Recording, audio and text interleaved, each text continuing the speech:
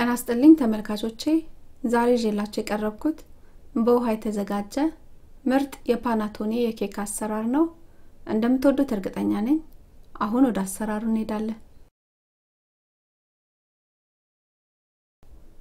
የፓናቶኒ ኬኩን ለማዘጋጀት የሚያስፈልገን ሁለት ኩባያ ዱቄት ግማሽ ኩባያ ሞቅ ያለ ወተት ዘይት ቅቤ እርሾ ቫኔላ ጨው ስኳር ሁለት እንቁላል ሁለት የእንቁላል አስኳል እንዲሁም አንድ ኩባያ ዘቢብ ወይም ያገኘነውን ደረቅ የፍራፍሬ አይነቶች። በምናቦካበት እቃ ውስጥ ሞቅ ያለውን ወተት እርሾውን ስኳሩን ጨውንና ዘይቱን እናስገባና ኩፍ እስኪሉልን ድረስ እንጠብቃለን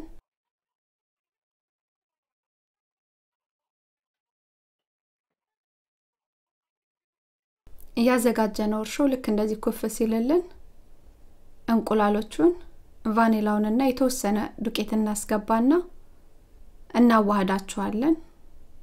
ከዛም ኩፍ እንዲልልን ሞቅ ያለ ቦታ ላይ ሸፍነን እናስቀምጠዋለን።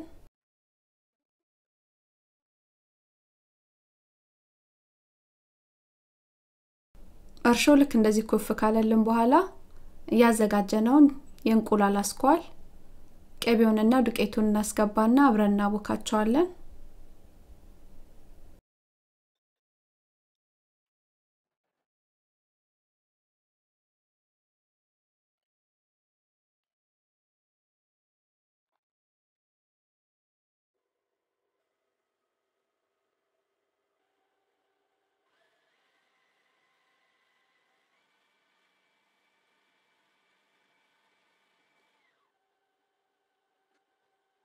ሊጡ ልክ እንደዚህ በደንብ ከተዋደልን በኋላ እያዘጋጀነውን ሬዝኑን ወይም ደግሞ ደረቅ ፍሩቶቹን እናስገባና አብረን እናዋህዳቸዋለን። የደረቁትን ፍራፍሬዎች ካላገኘን በሬዝኑ ብቻ መስራት እንችላለን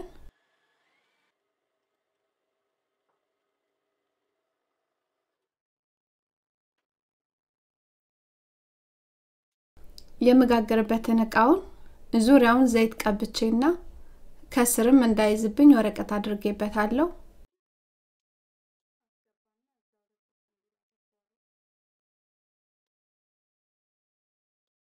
ሊጡን በምንጋገርበት እቃ ላይ ልክ እንደዚህ ካስተካከልን በኋላ ኩፍ እንዲልልን ሸፍነን ሞቅ ያለ ቦታ ላይ እናስቀምጠዋለን። በአንድ ሰዓት ተኩል ውስጥ ሊጡ ልክ እንደዚህ ሙልት አድርጎ ኩፍ ብሏል? በድስት ውስጥ ሶስት ኩባያ የሚያህል ውሃ አለኝ። ውሃው ልክ መፍላት ሲጀምር ያዘጋጀሁትን ሊጥ አስገባና አበስለዋለሁ። ሊጡን ልክ እንደዚህ ተጠንቅቀን መሀል ለመሀል ካስቀመጥን በኋላ በንጹህ ጨርቅ ወይም ፎጣ ሸፍነን ለአንድ ሰዓት ያህል እናበስለዋለን በፎይልም ሸፍነን ማብሰል እንችላለን። እንደ የምርጫችን ማድረግ እንችላለን።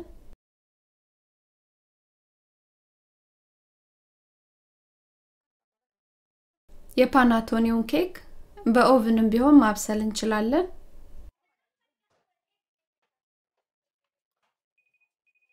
ኬኩ በአንድ ሰዓት ውስጥ እንደዚህ ቆንጆ ሆኖ በስሏል። መብሰሉን እርግጠኛ ለመሆን እስቴክኒ መሀል ለመሀል እንከትና ሊጥ ይዞ ከወጣ ትንሽ ሰዓት ጨምረን እናበስለዋለን። ወይ ንጹህ ሆኖ ከወጣ ደግሞ በስሏል ማለት ነውና እናወጣዋለን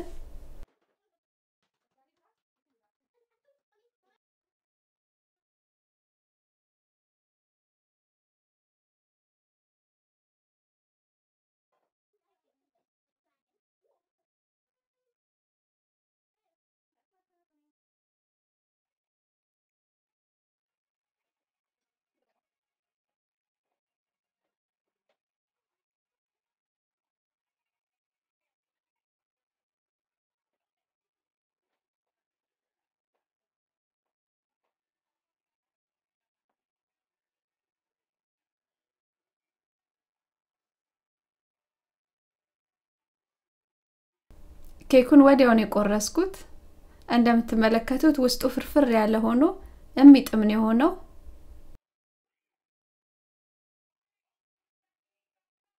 ይህን ይመስላል ምርጥ የገና የፓናቶኒክ ኬክ አሰራር።